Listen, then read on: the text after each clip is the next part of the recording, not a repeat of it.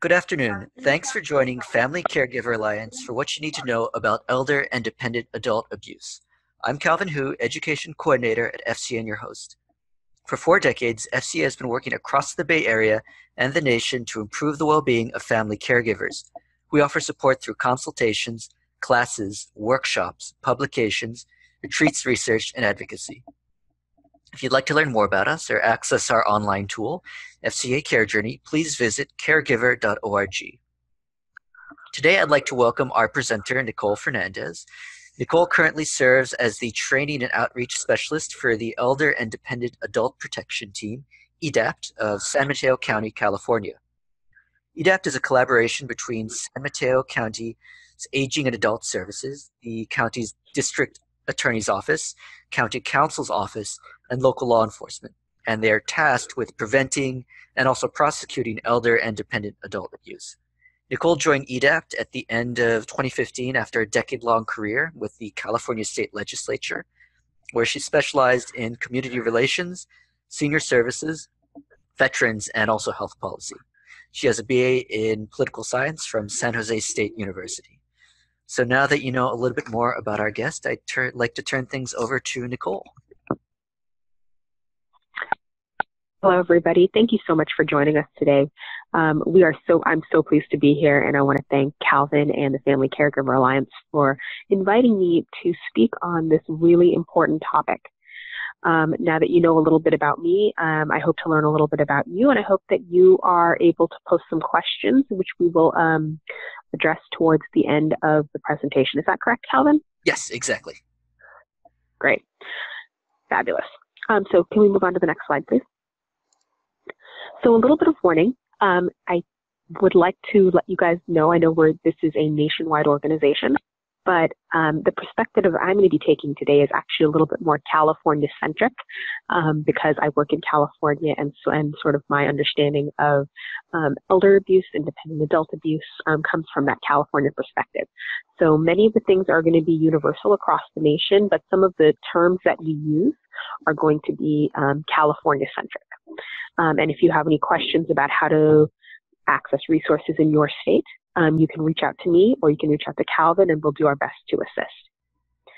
Um, so let's define some of the populations that we're working with today. Um, an elder, according to California State Code, which is pretty universal in every state, is any person residing in the state of California that is over the age of 65. Uh, a dependent adult or a vulnerable adult or a person with disabilities, depending on how your state defines the term, is usually someone between 18 and 64 that has a mental or physical disability that keeps him or her from being able to do normal activities or protect himself or herself. Abuse of an elder or dependent adult um, includes uh, includes the different types of abuse that we're going to be talking about today, which could include physical abuse, neglect, financial abuse, abandonment, isolation, abduction, or other treatment that can result in harm or pain or mental suffering, and a caretaker, which when many of you are um, for your family members or clients, any person who has the care or custody or control of a person who stands in a position of trust with an elder or dependent adult. And those definitions are from the National Institutes on Health. Can we go to the next slide, please? Let's talk about the population of seniors in the United States right now, just to sort of give us a grounding, a foundation for who we're talking about today. Um, as it stands, um, according to the 2010 census, uh, 40 million Americans are over the age of 65. That's about 13% of the population, but that number is going to skyrocket in the next 30 to 40 years. Um, by 2040, 2050, it's estimated that there'll be between 80 to 90, uh, 80 to 100 million Americans over the age of 65. Um, next slide, please. It's also important to address the population of dependent or vulnerable adults or people with disabilities in our um, in our nation. Um, according to the 2010 census, about one in five Americans has some sort of disability, whether it be physical or intellectual or developmental. Um, there are 7 million people living with intellectual disabilities in the United States, according to the National Disability Navigator Resource Center. And um, in case you are not caring for someone who qualifies as a dependent adult, um, they will often have a relative, a friend, a caregiver, such as you, um, who will handle or assist with their affairs. Some will reside at home, some are in a border care facility, some are in nursing homes, some are in institutional settings. Depends on where they are comfortable and what's best for your family. Um, can we move to the next slide, please? So let's talk a little bit about the popu- about um, sort of trends that we see, signs and symptoms that we see in the abuse of older and dependent adults uh, across our nation. I'm going to give you just a moment to think about this, but let's move to the next slide. When you see that term on the screen, which can actually be a bit jarring when you see it in bright red letters, such as um, elder abuse, what comes to mind when you think of that phrase? Just obviously, we're in a webinar, we can't have a discussion about it, but just take a moment to write down maybe one or two things that you think about. Maybe it is kicking or punching or slapping. Maybe it is yelling. Maybe it is lying. Maybe it is going in and taking cash out of mom's checkbook or a wallet.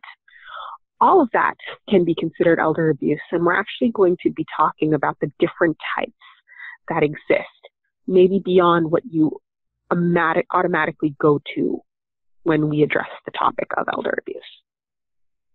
Um, the next slide, please. So you see a very handsome gentleman on the screen right now. Can you take a moment to see if you recognize him? Um, if you don't know who he is, he is a famous actor who passed away a few years ago. His name is Mickey Rooney, and he um, passed away about five years ago. And he is in this slide deck because he is arguably our nation's most famous victim of elder abuse, unfortunately. Um, so he had a very typical Hollywood existence. If you are old enough to know who he is, you may recognize some of his more famous movies like Breakfast at Tiffany's or National Velvet. Um, he was uh, very typical Hollywood playboy of his time, married eight times, um, won Oscars. Um, and he was also a victim of elder abuse in his last years. He testified in Congress about what it was like to be a victim of elder abuse, both physical and financial. And if it can happen to him, world famous actor, it can truly happen to the least among us in our in the United States. Can happen to everybody. And as somebody who works in a county, I work in San Mateo County, California, which is typically considered a very affluent county, um, we see reports of abuse all the time coming from every corner of our uh, population, every corner of our community. It can really, truly surpass um, gender, socioeconomic background, ethnicity. It can truly happen to everybody in our community. And that's why I'm so grateful that so many of you are on today's webinar um, because it really talks about uh, creating a network of support and making yourself aware of how we um, it, it really creates a network of support to uh, to um, help out the people who need it.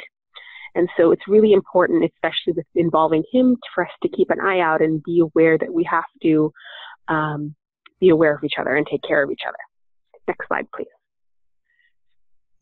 So from a California perspective, these are the types of elder and dependent adult or adult abuse that are recognized by the state of California as reportable. And so I just want to go over, um, and this is one of my favorite little handouts that comes from the C4A, California Association of Areas on Aging. Um, and that will be made available to you if you decide to get the slides from Calvin. Um, but this is called Don't Miss the Signs, and it talks about the different types of abuse that exist um, and are recognized by California. Uh, neglect is when you cannot care for yourself, so you have a caregiver who provides care or is supposed to provide care, and they do not meet your basic needs. Um, clean water, clean food, hygienic uh, facilities or living conditions, things of that nature. Self neglect is when you cannot care for yourself, either because of um, capacity issues or um, addiction issues, whatever the case may be, you are not in a position to care for yourself. Physical abuse is what we typically think about when we think of the word abuse. Um, it's basically any aggressive action that results in a physical mark. Um, so broken bones, bruises, black eyes, sprains, burns, cuts, welts, all of that can be considered physical abuse. Emotional abuse is threatening somebody's self harm through words or name calling. Um, it can be harassment, coercion, lying, profanity, infantilization, intimidation, coercion. Um, sexual abuse is basically any sexual act or sexually suggestive act with an elder or dependent adult that cannot um, consent or does not consent to participating in that.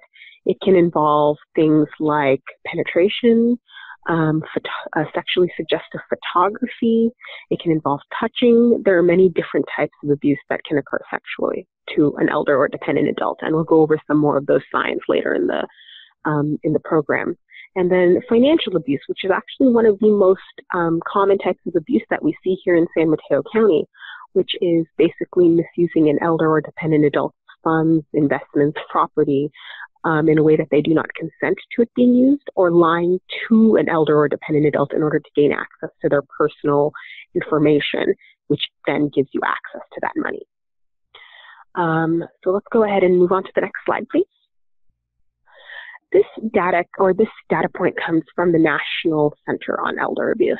And according to um, their st- their statistics, the most common abusers of elders and dependent adults are actually in the first two categories up there, family members and caregivers, um, which is really um, sad because those are the folks that our clients, our most vulnerable adults, are typically closest to. It's the people who assist them on a daily basis. It's it's it's very often the providers who um, are are there to provide care so that they can live um, a decent life or provide assistance in order for them to provide to to live a, a, a, a inadequate life. Um, so that's really difficult. And we'll talk about some of the statistics and data that come along with underreporting related to um, the closeness of the perpetrator to the abuse, alleged abuse, victim of abuse. The last 10% fall into the last two categories scammers and thieves. Um, you know, those folks who pretend to be from the IRS or from the courts or from Medicare and try to get your personal information um, in order to access your money. And then unethical financial industry representatives, um, uh, such as folks trying to sell older or dependent adults products that they don't need or understand when they purchase solar uh, solar panel uh, annuities, things that uh, reverse mortgages, things that they things that they don't understand or might not be appropriate for them under the circumstances. Let us go ahead and move to the next screen, please. This is from a startup called TrueLink Financial, and they actually provide um, uh, they provide debit card protection for folks who are older or dependent adults. Um, and this is from a financial abuse study that they released a few years ago. And it is estimated that seniors, people over 65, lose about $36.5 billion every year to financial abuse and exploitation. Um, it's kind of uh, sort of on the higher end. It's really hard to pin down a number. There have been some studies that said it was as low as 2.5 billion, but the more recent data sets that have come out have actually have actually put the numbers higher. Um, so I tend to go with this number um, because it's sort of what we are seeing reflected in San Mateo County, which are high dollar losses for elder and dependent adults who have been financially exploited. And it is very common here in San Mateo County. Um, we're just south of San Francisco, where we see a lot of um, financial abuse and exploitation related to uh, property loss and uh, title uh, uh, and and things related to titles uh, of home of home ownership. Um, so you'll see about 17 billion dollars is lost to exploitation, about 13 billion is lost to fraud, and about 7 billion is lost to trust abuse, um, which is when a family, friend, or paid helper takes advantage of a relationship in order to get money from a senior. Um, we tend to think that that number, that 7 billion, is very underreported um, because, as we know, the most common abusers are very close to the alleged abuse victim. And so underreporting happens all the time. We're actually going to get into that a little bit to talk about why is abuse so underreported. Um, can we move on to the next slide, please? Here are some consequences of abuse, just to think about. Um, if you have been a victim of abuse in the past, um, what are sort of the outcomes? What are what are some of the effects of having been in that position? Um, uh, so studies show that abuse victims, um, especially older adult victims, uh, tend to socialize less. They tend to be diagnosed with depression or suffer from self neglect, where they can't care for themselves anymore. They might feel exceptional guilt at having an abuser, um, a caregiver slash abuser, um, being prosecuted for having taken advantage of them. Maybe low self esteem at having been a victim. Physical injury if the abuse was physical, or in some cases, death. As we know, some older adults are more um, are not as uh, able to bounce back as they used to, and we do see some of these injuries going leading towards death sometimes. Um, can we move to the next um, slide, please? Uh, this was a statistic that I found recently from the CDC, and it is important to sort of understand the scope of the problem. Elder abuse, including neglect and exploitation, is experienced by one out of every 10 people ages 60 and older who live at home. So it, it does very frequently occur to folks who are based in the community. Very often we think about older adults being abused or neglected or isolated in facilities. Um, just very often our mind jumps to that. But very frequently the folks who are being exploited or abused are actually living at home, um, living in where they're comfortable, living where um, they feel safe. And unfortunately, that's just not the outcome. Uh, can we go to the next slide, please? It's also important to note, um, and this is another statistic from a, the New York Elder Abuse Prevalence Study, but we're going to talk a little bit about why underreporting happens so frequently. But for every one case of elder abuse reported to the authorities, it is estimated that another 24 go unreported. Um, so it is extreme. This crime is extremely underreported. Very often, the alleged victim does not want to participate in an investigation or talk to Adult Protective Services, my colleagues here in San Mateo County. Um, and there are a number of reasons why. Starting with uh, going back to that data point we had a couple of slides ago, which is that very frequently the abuser is someone who is close to the victim. Um, it is a child, it's an in-law, it's a friend. Um, it is someone who is in a great position of trust with that person. And so why would you want to turn them in? Because you have great emotion, great affection, great sense of responsibility towards them. And let's go into some other reasons why it might be more um, underreported. Can we go to the next slide, please?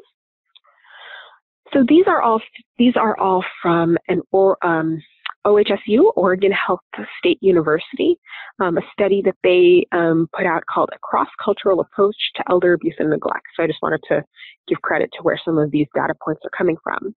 But some other reasons why an older adult may not, or a dependent adult may not want to um, come out as a victim, self report, participate in investigation. Um, they they uh, they're experiencing embarrassment um, at having been victimized. Um, they fear losing their independence. If they are an alleged victim, they fear that they are going to be moved into a licensed facility and have to give up um, their self-determination and independence and choice in where they live. Um, maybe the suspect is someone that they love, that's someone they raised, someone they rely on in order to to complete their um, actions of daily living. Um, maybe they fear retaliation from an abuser. Maybe they fear that someone who's turned into the police might get out um, and come back for revenge. Um, maybe they lack mental capacity, especially with when we're dealing with vulnerable or dependent adults.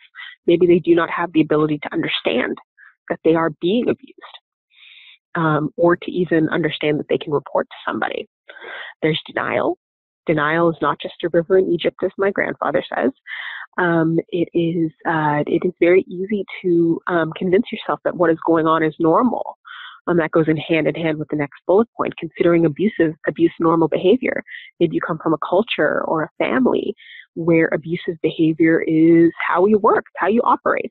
It's normal. You don't know any different. Um, maybe there's an inability to communicate the abuse. Maybe you um, are, maybe you've had a stroke and you've lost your ability to talk. Um, maybe you are mute and can't speak. Maybe there's a language barrier. You never know. And then maybe you come from a home or a family or a culture where you believe in keeping things behind closed doors. Our business is our business and we don't talk to outsiders about that, even if it is really bad. Even if you are being exploited, we keep our business our business. That happens very frequently. We see that all the time here in San Mateo County. Um, next slide, please. It's also important to note that there are some specific things to consider about underreporting for um, elders who come from minority or communities of color. Um, coming back to language barriers or lack of interpretation services, someone may not want to participate or help the authorities in an investigation or report themselves um, because there's no one on the team that speaks their language or there are no interpretation services services available. As we know, especially with government and nonprofits, funds are limited um, for things like this and uh, for things like this. And so a simple lack of a translator can make a world of difference. Um, isolation in some cultures, once you reach a certain age, seven, uh, in, once you reach the later decades of your life, um, you are sort of put out to pasture in a way um, where you do not interact with the family very much and you're sort of left to your own devices. So you might not have access to some access to someone such as an authority figure or even a family member who can help you out of that situation. Immigration status. Maybe you're undocumented. Maybe your family members are undocumented. Maybe your alleged abuser who is a um, family member is undocumented and you don't want to get the authorities involved for fear of, for fear of being deported or getting involved in the um, immigration in getting involved in immigration. A fear of law enforcement. Maybe you come from a community or maybe you come from another country where law enforcement is feared or corrupt in some cases. Um, there are some countries where you have to bribe um, police in order to help you and you may not have the funds um, so simple things like that. Maybe you have an unfamiliarity with the, how we work here in the United States. Um, uh, the court system, adult protective services, government agencies in general, service, uh, even nonprofits. Maybe you don't know that there are resources out there to help. Um, maybe you come from a culture where there is community pressure to remain with your abuser, um, to stay with your family, to keep your business your business. And maybe there's a history of trauma where you can't even verbalize what's happening to you. Maybe there's something that's happened in your background, flashbacks, PTSD, social anxiety that cannot, that stops you from talking to someone about this, including an investigator or law enforcement. Um, there are many reasons why someone might not want to participate or report. Can we go to the next slide, please?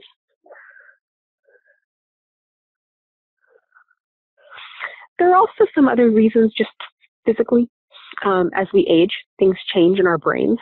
And I think it's important to note that some older adults might be more vulnerable to abuse because of that, what happens with, to our brains as we change, as we age and change. Um, our judgment may be compromised. Um, older adults are more prone to loneliness and depression and isolation.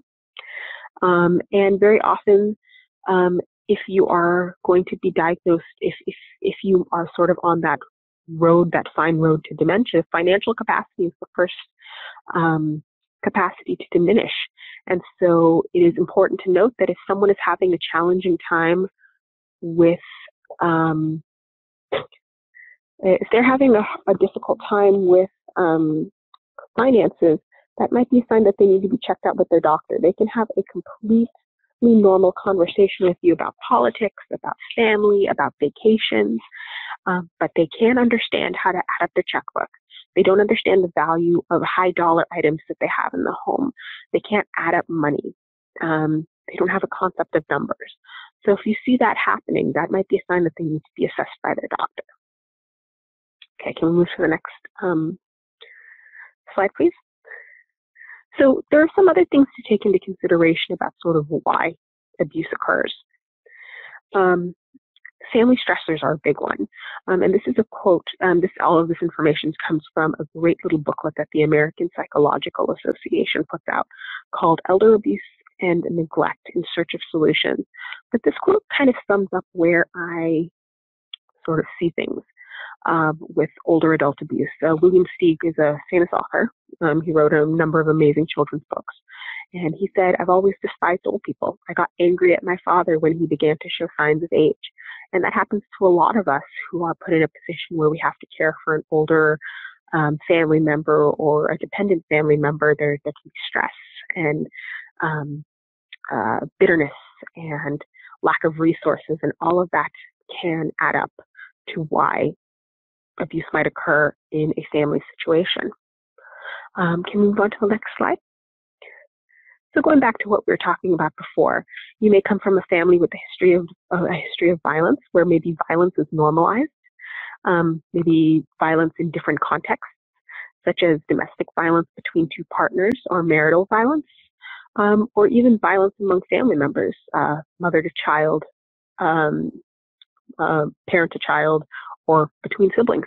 It happens very frequently.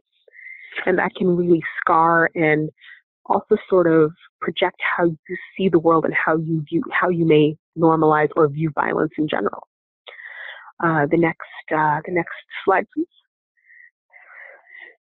Uh, another thing to consider is inter- intergenerational violence. Um, we there are trends where someone may have been abused by a parent growing up, and then they are put into a situation where they have to care for a vulnerable parent as that parent has aged.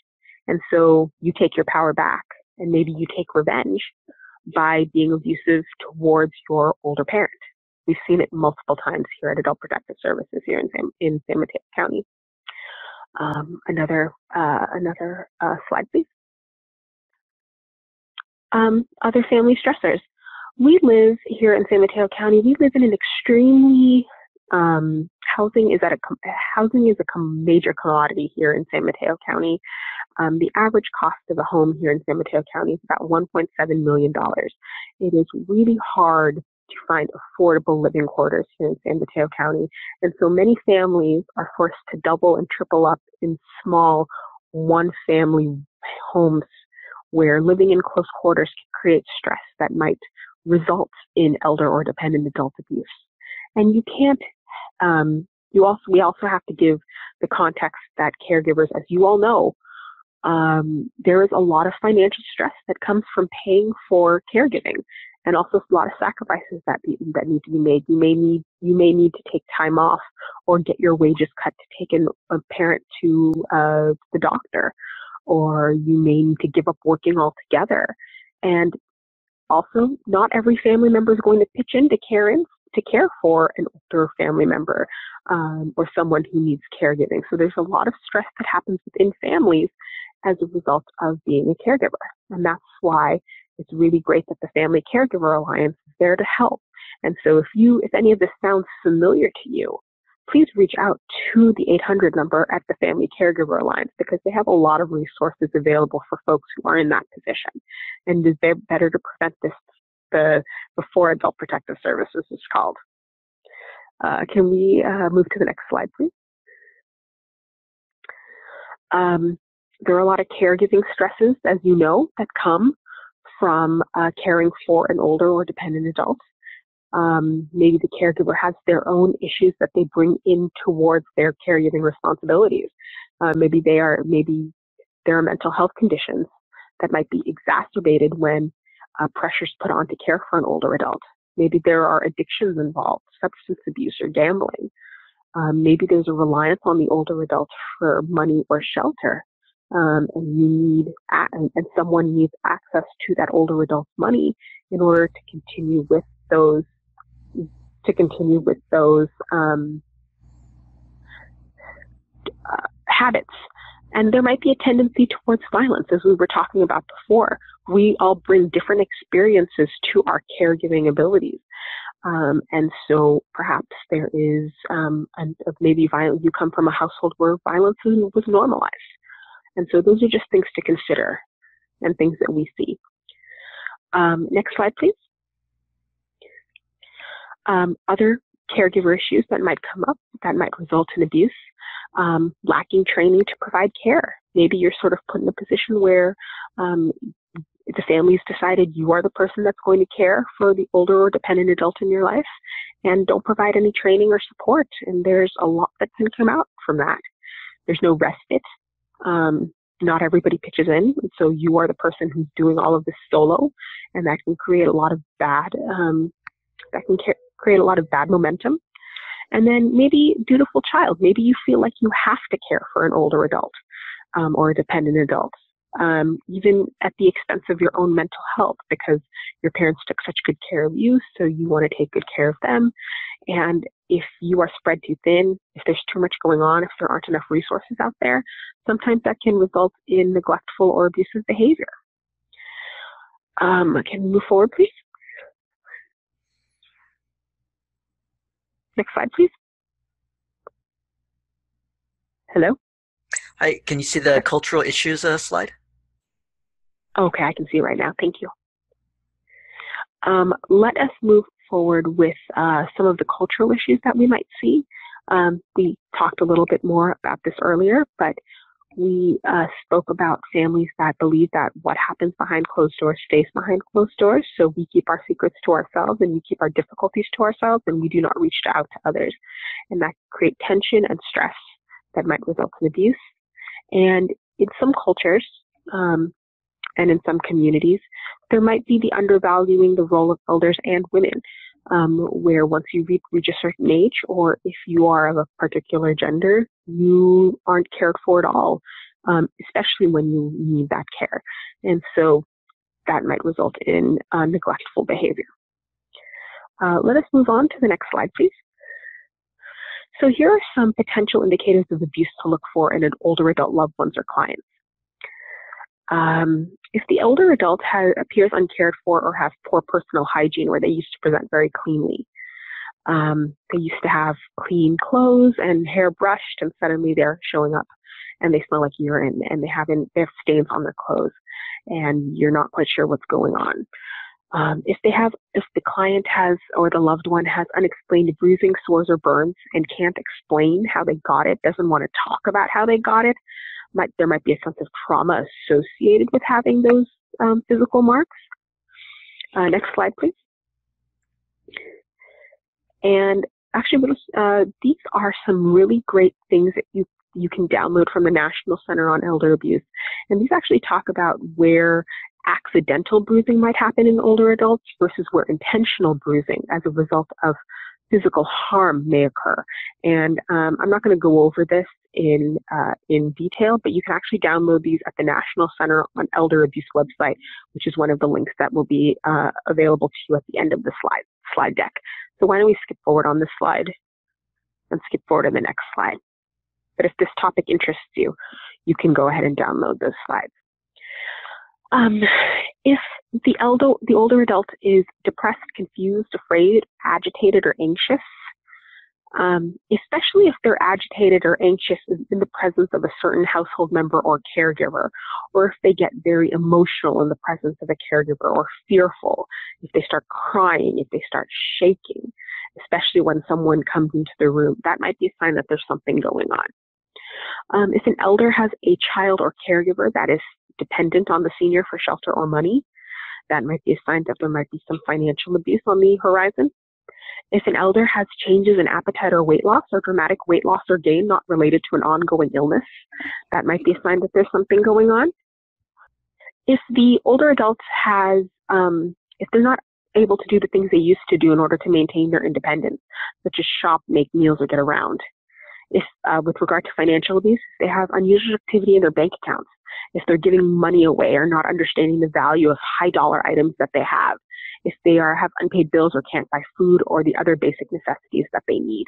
Um, if they suddenly have statements going to new addresses and don't know where their social security check is going at the end of the month, like they can't track where the money's going, that might be a sign that there's something going on. If the elder is isolated or someone is isolating them, stopping them from enjoying the social occasions that they usually um, enjoy, such as going to church, or having visitors, making phone calls, that might be a sign that there's something going on. As you may know, there is proven correlation between um, isolated individuals and the likelihood that abuse might occur because there's no third party or sort of a check and balance system. Um, if the elder has untreated chronic illness, um, if someone who is a caregiver is not providing the basic needs that they need such as providing wound care, taking them to the doctor, helping them um, refill medication. All of that can be considered neglectful behavior. If the elder has relatives, friends, or professionals coming out of the woodwork um, who initiate suspicious or quiet conversations about finances, um, if they say don't trust don't trust anybody in the family but me, I'm the only person who can care for you um, and your money. Don't trust anybody else but me. That might be a sign that there is the potential for something happening on the horizon. Um, so those are sort of the signs to look for in older adult clients. Um, let us move on to looking into what might happen with um, dependent people with disabilities, dependent adults, as we term them here in, in California.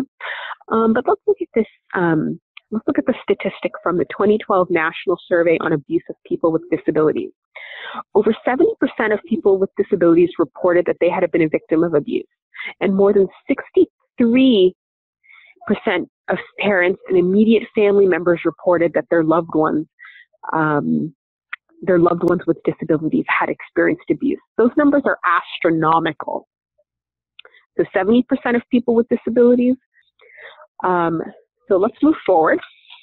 So here are some signs to look for uh, with uh, of indicators of abuse to look for in individuals who are um, are vulnerable or dependent or intellectually disabled, how whatever term you're using.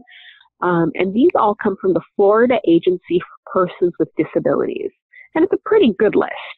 Um, so if there's bruising, old and new, clustered on one part of the body, um, on both upper arms, burns, cuts or scars, marks left by a gag, imprint in- injuries, especially ones that look like fingers or thumbs, or belts or sticks, or missing teeth.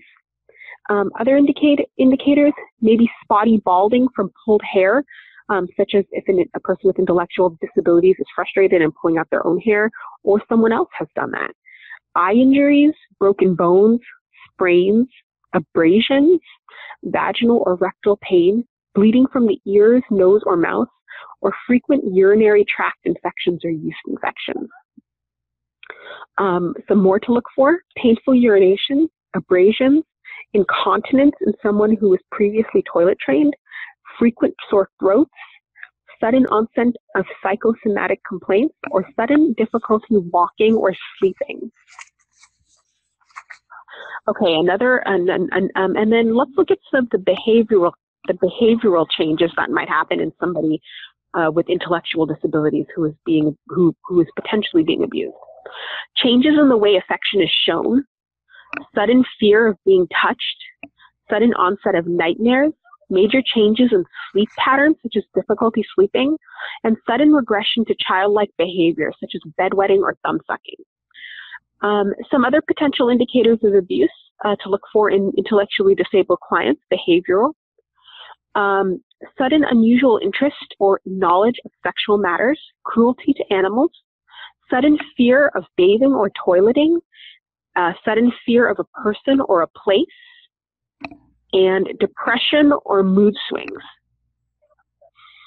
Um, so those are the those are the things to look for um, in if you are caring for a person who is a vulnerable adult or a dependent adult or a person with intellectual disabilities. So let's look at some of the tips that we can do, we can take to protect the person we love, uh, who might be an older adult or a disabled adult. Um, investigate any financial offers that come your client or loved one's way. If someone asks them to invest in a, in, to make an investment, um, if they ask them to buy a service, um, if they ask them to um, buy a product, make sure you do your research and make sure that it's a good use of their money. Um, you can always go to the Better Business Bureau, the Chamber of Commerce. Um, make sure that they are, make sure that you do your research to make sure that the person who's doing the selling towards you is, uh, is licensed and in a good standing with the agency that licenses them. Know that there's no such thing as a free lunch. If there's a salesperson who's trying to get you to uh, come listen to a sales pitch and they want to buy you a free lunch to make you to to kind of compel you to make that purchase, don't do it. Um, they, the product should sell itself. You shouldn't need a free meal in order to part with your money. Don't explore alone. If your if your family member or client um, maybe is making friends over the internet and wants to meet them in real life, Make sure that they take somebody with them. Make sure you know where they're going. Make sure that you have contact information. Don't be afraid to Google the person that they're meeting. Make sure that you don't Google their name, see if anything comes up. Just do your due diligence. Don't give out important numbers over the phone, especially in the case of phone scammers. And don't believe anybody who says that they're calling from a government agency because government agencies very often aren't going to call you directly. They're going to send somebody to your house in the case of law enforcement or social services, or they're going to send you a letter in which you'll need to follow up. And then uh, let's go to the next slide, please, Calvin. Um, and again, it looks like the slides are stuck. I'm really sorry about that. Um, but let's continue on. Um, if you are going to be hiring in-home caregivers for respite, um, in case you aren't providing the day-to-day the, the, the, day-to-day duties as a caregiver, make sure you go through a reputable agency that insures their folks, trains their folks, provides insurance for their folks, and um, so they know what their responsibilities are. Um, don't pick up the phone unless you know who's on the other side. Use that caller ID. It was invented for a reason. Unfortunately, scammers are getting more sophisticated as we get, uh, uh, the longer we get, so they can change the name that appears on the caller ID. But if you don't understand, if you don't recognize it at all, let it go to voicemail. And don't answer the door to folks you don't know. Um, the only time I ever answer my door uh, to folks I don't know is cooked during Girl Scout cookie season because thin mints are the best. But as a general rule, I don't answer the door to folks that I don't know or don't expect. Um, let us move to the next slide. So let's talk about if you suspect that something's happening with a loved one or a friend and you want to make a report, what do you do? Um, let's go ahead and move to the next slide. I just want to remind everybody that this presentation is very California centric because I do come from California, but I did my best to make this sort of universal. Um, but I hope that uh, this information is, is, useful to everybody who's uh, watching today. Uh, let's move to the next slide, please. So let's talk about who investigates when you um, when you make a phone call. So every state in our nation has something called Adult Protective Services. And you can find the phone number for your local Adult Protective Services by Googling your state number and Adult Protective Services. And you can call them and speak to a social worker and talk about the situation you're encountering. Um, all calls that go into them are confidential and you should you can definitely call them if you have questions.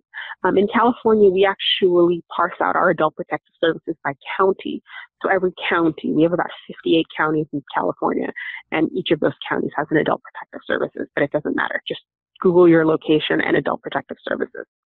But APS in California, at least, is a county-based program or a state-based program um, that intervenes to remedy or reduce dangers to elder or dependent adults um, so we're basically social workers who go out and investigate those who are at risk of neglect, self-neglect, or abuse. Um, we develop relationships. We work in partnership with law enforcement, district attorney's offices, whoever our partners are, in order to investigate the allegations. And our goal is to maintain the health and safety of the elder independent or dependent adult in the community. So we want to keep them at home if we can with the assistance that we can provide using the services that are, the services that are available to us. Um, but some of the challenges that we face as adult protective services workers. We're voluntary, so a client can refuse to cooperate with us at any time. Um, they have to want to change their situation. They have to want to talk to us. And so if we visit an if we visit an alleged victim of abuse and they say that they don't want to talk to us or they don't open the door or if they actively avoid us, um, we have to accommodate that request and basically close the case, unfortunately. In California, at least, if a penal code section has been violated, we may bring in police to take the lead on the investigation because police can compel um, action more than we can as APS workers. Um, if a client lacks capacity to give consent, we may start conservatorship, we may um, initiate conservatorship proceedings. And again, our goal is to respect self-determination to the greatest extent possible. So you may ask, um, what happens when I call Adult Protective Services? So I just wanted to walk you through sort of a little infographic that talks about what happens behind the curtain on our end of things when you make that phone call. This comes from the Administration on the Aging. Um, if you look at the first box, it says APS will receive a report of suspected abuse. And then second box, the APS staff screens the case to determine whether it meets eligibility criteria. If the case cannot be opened by APS because it doesn't meet our standards for a case, we may look at some of our nonprofit and service provider partners to see what services can be provided to that person. If the APS case can be opened, then we're going to assign that to a caseworker for investigation. The caseworker will then do their best to make contact with the older or dependent adult at their home, unscheduled, um, to assess immediate risk, investigate abuse, and determine if abuse can be substantiated. If you look at the FIST box, APS is then going to provide or arrange for a variety of services to ensure that the older adult's immediate safety and well-being is okay. We're going to look at some of the service we, services we can provide, including medical care, emergency placement, food delivery, attendance care. And if there is obvious abuse that has been um, involving criminal activity, we're going to work in partnership with our prosecutor's office to make sure that alleged abuser is held accountable for their actions. And then we're going to um, continue the investigation, and, one, and at some point we're going to conclude the investigation, but continue services for a limited amount of time to make sure that the victim is doing well and that their well-being is doing okay. In California, at least, we, all, we also have a parallel organization called the Ombudsman's Office. And they are uh, the long-term care ombudsman. Your state may also have something similar, but Adult Protective Services addresses abuse uh, allegations to older and dependent adults that live in the community, in their homes. Um, but the Ombudsman's Office actually investigates abuse allegations in licensed long-term care facilities here in California. Um, they investigate to resolve complaints um, made by individual residents. Um, they also investigate complaints regarding uh, nursing homes, residential care facilities, and those that, is, that, assist, that are assisted living facilities and they're going to look at issues regarding um, uh, elder abuse complaints and uh, uh, other issues that uh, that face those folks who live in those in those licensed long-term care facilities. Um, another option for who might investigate is law enforcement. If it is um, if an immediate crime has occurred, um, if there's somebody, if physical, if there's anybody in immediate physical danger or something, or an obvious crime has occurred, then uh, law enforcement will be the first ones in, and they will, we will, they will often work in partnership with Adult Protective Services or the Ombudsman's office in order to, um, in order to uh, resolve the issue and to address the comment from Tom Capel. LTPO stands for Long Term Care Ombudsman Program, and that's in California. Uh, let us go to the, and if you need to find the local phone number for either of those programs, such as law enforcement or ombudsman, you can Google your state name with ombudsman or Google your state name with police or law enforcement. So we're going to conclude with just letting you know that there are lots of options out there if you suspect someone you love or you care for is being abused or neglected. Um, there are at least three different agencies, at least in California, that would pick up the that will investigate. You don't have to be 100% sure, but it is important that if you suspect something is happening, that you do reach out to the appropriate authorities. Um, you are you uh, calls that come in are, are confidential. Um, and it's important to sort of assess and consult with someone who knows about how to investigate these allegations of abuse. So you can always call us, um, run a scenario by us, use it as a sounding board, and we're always happy to give you advice, recommendations, refer you to community agencies that can assist you, and just know that there is help out there, and um, and and take advantage of it, use it. Um, being a caregiver is one of the hardest jobs in the world. And so please use that support where we can. And thank you for being part of the village and the network that keeps our older adults and dependent adults safe. So thank you so much. Um, I'm going to turn this back over to Calvin, and this is my contact information right here on this last slide. So thanks so much for your time, and if there are any questions, let me know. Perfect. Thanks, Nicole. Uh, it looks like we have about six minutes for questions. Uh, Nicole did mention she would be willing to stay a little bit after if we go a little bit over for questions, but we'll try and end right on time. I guess the first question would be in terms of, I guess you alluded to it a little bit in the previous slide, but when would be the most appropriate situation to call APS, uh, Adult Protective Services, versus dialing 911? Right. So if anybody's in immediate physical danger, if there's an obvious crime that has occurred, if there is um, If if a life is on the line, call an emergency, call the police. Um, if it is something because um, with adult protective services in California, at least, you have 10 days. We, have, we are not we are not first responders. We are not um, we're investigators, but we are not first responders. So if there's something that there's an immediate need, if there's immediate danger, if you need a welfare check immediately, call the police. But for adult protective services and the ombudsman, we usually have 10 days in which we can we, we can make it out there in order to start an investigation. So obviously, we are not getting out there immediately if someone's in specific danger. So please call the police if there's an immediate, uh, the immediate potential of risk or harm to an older or dependent adult. Sure. And then uh, just a, a, bit of a follow up question. If, say, someone uh, thought there was maybe a, a, grave threat to life and, and well being and they wanted to really make sure and wanted the police to, to stop by, so called, called 911, but it turned out that wasn't exactly the case and, and things maybe weren't as dire, but that they there was still maybe a case for adult protective services to investigate. Would the police in general contact adult protective services on their own, Absolutely. or is that something? Okay. Yes. So we cross-report to each other all the time, and if they have, if they're dealing with clients who are over the age of 65 or have a vulnerability, um, we we talk to each other constantly. We exchange paperwork constantly, but it doesn't it, it always it does not hurt to call both agencies or all agencies just to make sure you're covering yourself. Okay, perfect.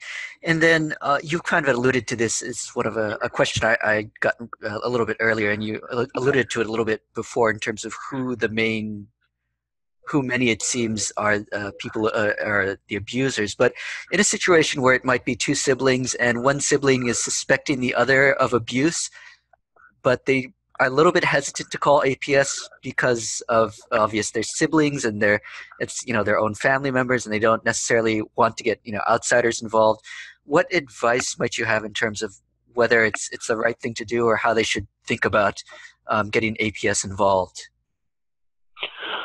So I don't think you should ever have any fear about calling adult protective services because I would say a good number of our cases, at least here in San Mateo County, are siblings quarreling with each other about money or the care of a parent.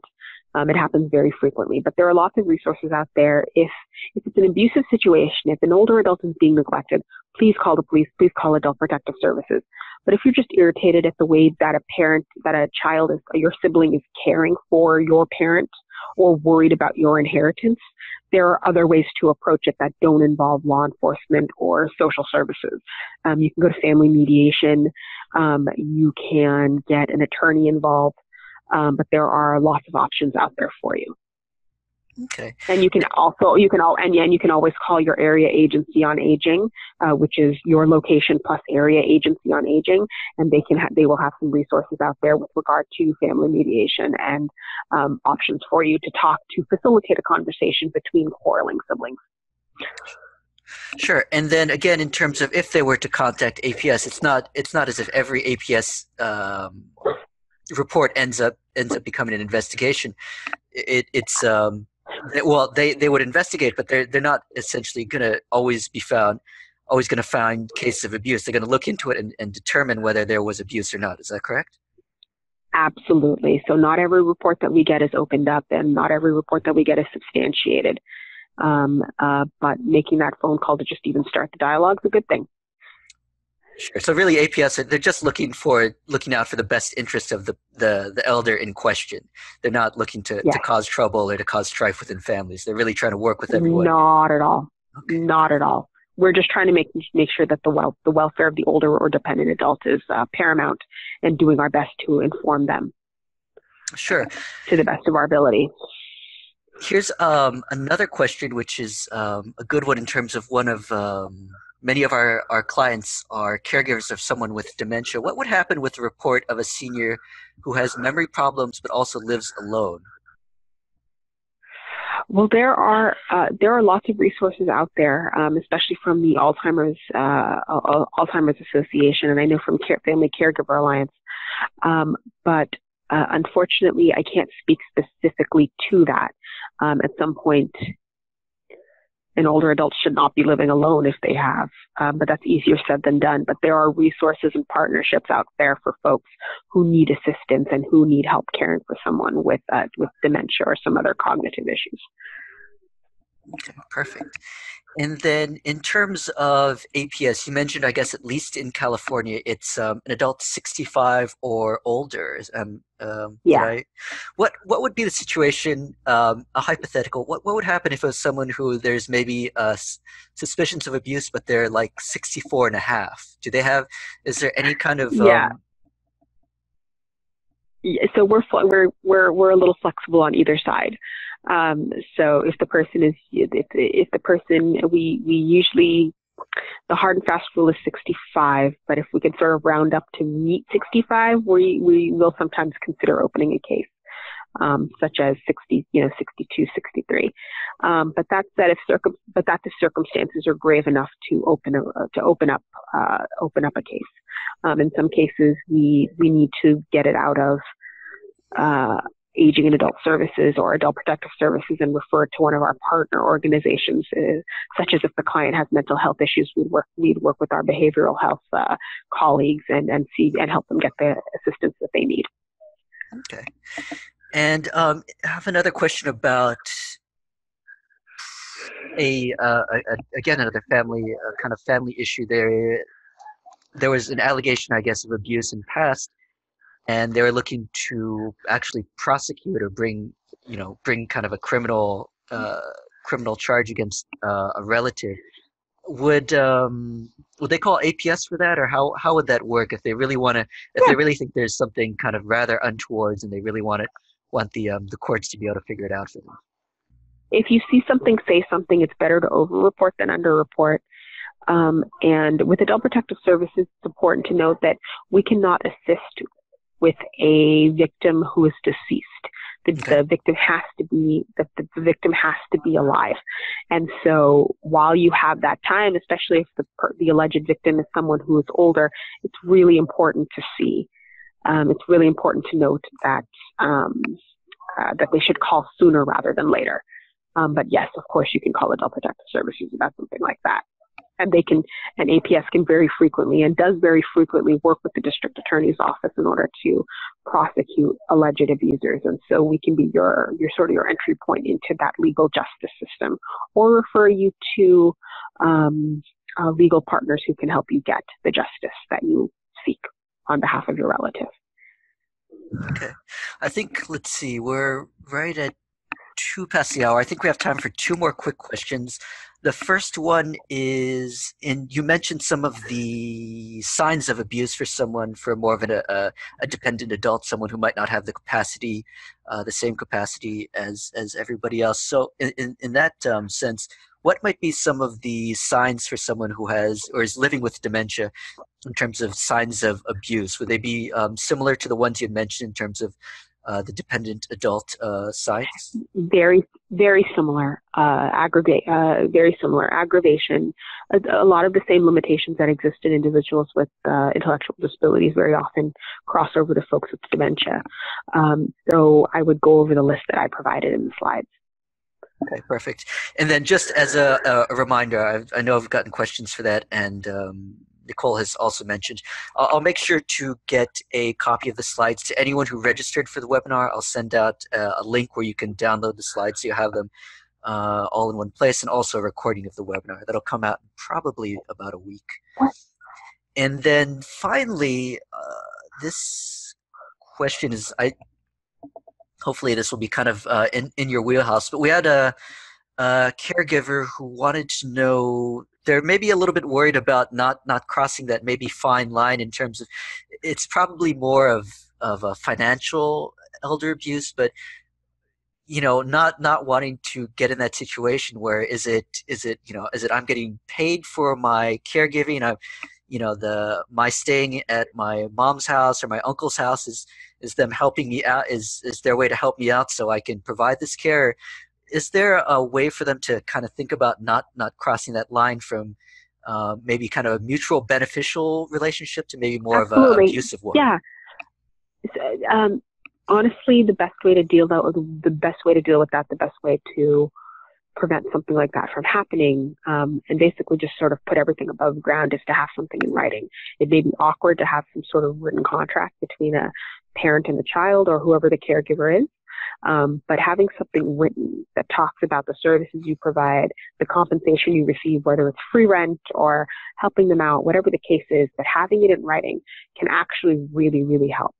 So having a contract drawn up, um, which there are many templates out there, um, and uh, is, is, definitely something I would encourage folks to, to do. Perfect. Thanks so much. Well, I think that is all the time we have. Thanks again for staying a little bit later, uh, later with us today. I just wanted to mention that the webinar, actually, Nicole participated with us at a previous webinar specifically on elder and financial, uh, on elder scams, actually, financial abuse that you can find on our website, which is a great resource if you wanted to get a little bit more in depth on some of the common scams that uh, these uh, people use to target older older adults. Anyways, I'd like to thank you all for participating in today's webinar, which was presented by Nicole Fernandez. Uh, FCA webinars are a free and continuing series. You can find more information about our next one on our website. Thanks again, Nicole, for joining us today. Thank you very much. The webinar is now concluded, and we hope to see you all for the next one. I wish you all a great afternoon.